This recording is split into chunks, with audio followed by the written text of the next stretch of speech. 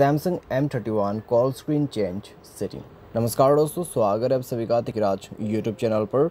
तो दोस्तों, आज के इस वीडियो पर मैं आपको बताऊँगा कि कैसे आप जो है अपने सैमसंग के डिवाइस में कॉल स्क्रीन चेंज कैसे कर सकते हैं। ठीक है? तो आपको दोस्तों, यहाँ पर बाई डिफ़ॉल्ट सेटिंग मिल जाएगा काफ़ी आसानी से और दोस्तों, दो तरीके का सेटिंग यहाँ पर आपको देखने को मिल जाता है कॉल स्क्रीन चेंज करने के लिए। ठीक है? तो अगर आपको भी कॉल स्क्रीन चेंज करना है तो इस वीडियो को अंत तक ज़रूर देखें। आपको सब कुछ पता लग जाएगा। और दोस्तों वीडियो शुरू करने से पहले अगर आपने चैनल को सब्सक्राइब नहीं किया है तो सब्सक्राइब करके बेल आइकन को क्लिक करें और अगर आप ऑनलाइन पैसा कमाना चाहते हैं तो वीडियो डिस्क्रिप्शन पर लिंक मिल जाएगा। चलिए वीडियो शुरू करते हैं। तो दोस्तों, सबसे पहले आपको यहाँ पर मैं बताऊँगा कॉन्टेक्ट के अंदर पे जाके, ठीक है? यहाँ पे दोस्तों, मान लीजिए आपको किसी के प्रोफ़ाइल में पिक्चर ऐड करना है। तो आप दोस्तों सिंपली उनके प्रोफ़ाइल में जाए। उसके बाद यहाँ पे दोस्तों आप देख सकते हैं, कुछ इस तरीके से आप फ़ोटो सेट कर सकते हैं, मैंने ऑलरेडी सेट कर रखा है, ठीक है? एडिट के ऑप्शन पे जाके दोस्तों आप चेंज कर सकते हैं।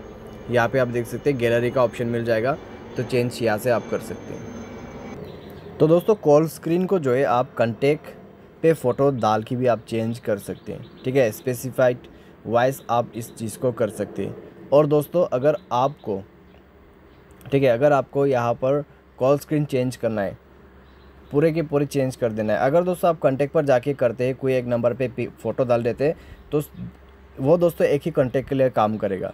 लेकिन अगर आप कॉल सेटिंग पर जाते थ्री डॉट्स पर क्लिक करते हैं और सेटिंग पर जाके कॉल बैकग्राउंड आप सेट कर देते हैं, जैसे कि यहाँ पर आप देख सकते हैं।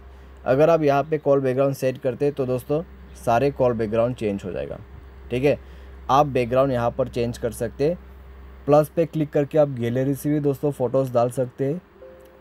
ठीक है, इस तरीके से यहाँ पर वीडियोस भी आपको मिल जाएगा। तो कुछ इस प्रकार से दोस्तों यहाँ पर आपको कॉल बैकग्राउंड का ऑप्शन भी मिल जाते हैं। अगर आप ये ऑप्शन को सेलेक्ट करते हैं तो सारे कॉल स्क्रीन चेंज हो जाएगा एक ही साथ में। ठीक है तो ये एक दोस्तों काफ़ी अच्छा ऑप्शन है। तो दो ऑप्शन मैंने आपको बता दिया, जो भी ऑप्शन आपको यूज़ करना है, आप कर सकते हैं। अगर आपको थर्ड पार्टी एप्लीकेशन यूज़ करना है तो भी दोस्तों आप कर सकते हैं। मैं आपको एप्लीकेशन सजेस्ट कर दूँगा यहाँ पर, और वो एप्लीकेशन है दोस्तों वानी ऐप ठीक है? वानी ऐप आप दोस्तों इस एप्लीकेशन के मदद से भी अपने कॉल स्क्रीन को कम्प्लीटली बहुत अलग तरीके से चेंज कर सकते हैं। ठीक है? तो अगर आपको यूज़ करना है, कर सकते हैं। उम्मीद करते हैं आपको ये वीडियो पसंद आया होगा। Thanks for watching